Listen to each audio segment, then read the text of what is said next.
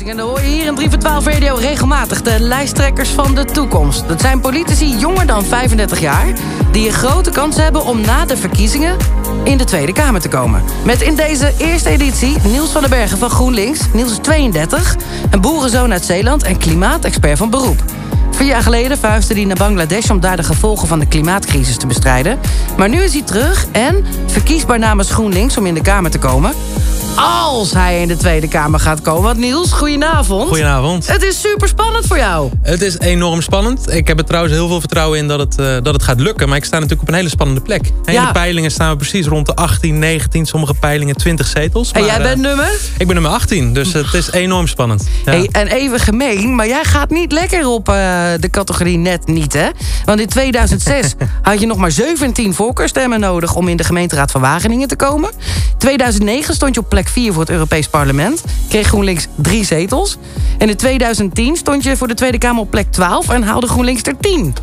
Ja. Oh. ja, ik ben wel een ervaringsdeskundige. Maar ja, kijk, ik hoop natuurlijk dat het deze keer wel gaat lukken. Ik vind het trouwens een eer hoor dat ik al die keren heel veel steun vanuit de partij kreeg. Om hoog op de lijst te komen en vervolgens ook heel veel steun van de kiezer. Uh, maar inderdaad, ik, ik word soms ook wel eens Niels net niet genoemd binnen GroenLinks. Grappend.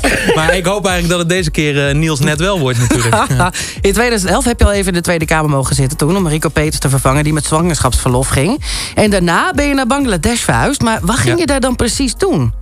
Nee, in Bangladesh heb ik, ik heb verschillende dingen gedaan... maar ik heb vooral met boeren en jongeren gewerkt aan... Uh, ja, wat ik zelf altijd noem het opvangen van de klappen van de klimaatcrisis. Dus ik heb bijvoorbeeld met boeren gewerkt aan, uh, ja, aan beter watermanagement... om met de overstromingen om te kunnen gaan, om uh, sterkere dijken te bouwen.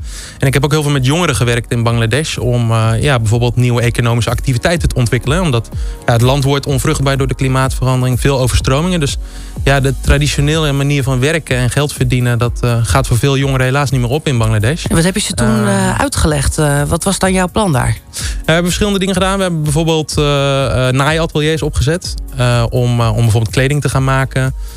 we hebben zogenaamde handicraft shops opgezet. Dus waar mensen bijvoorbeeld van, van bamboe en riet manden konden maken en matten. Uh, dus echt alternatieven voor de traditionele landbouw.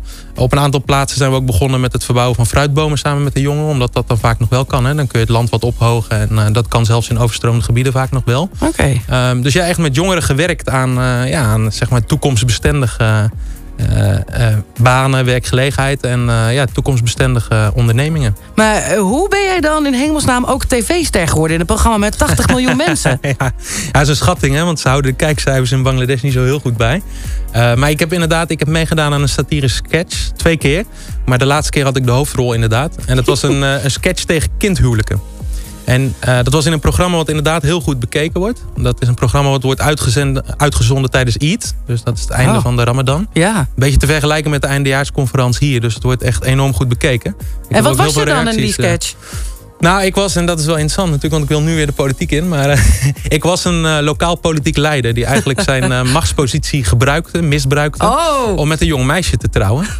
ik deed het allemaal voor het goede doel natuurlijk. Hè. En ik, Mhm. ik ben natuurlijk in het echt een, een heel eerlijk en goed Maar- politicus. Maar het was een satirische rol uiteraard. Maar, maar nu ben je dus world famous in Bangladesh. Ja. En toch terug in Nederland en verkiesbaar. Ze halen hier op de, bij de debatten maar 2 miljoen kijkers hoor. Ja, ja Klopt. 80 daar.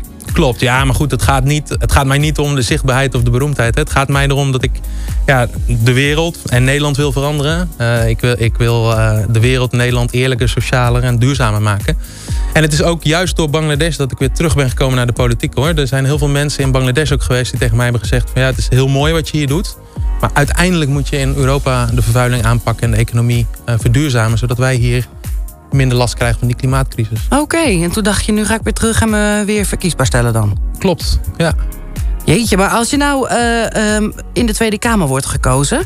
kan je dan ook hiermee bezig gaan houden met de klimaatcrisis? Is dat al bekend?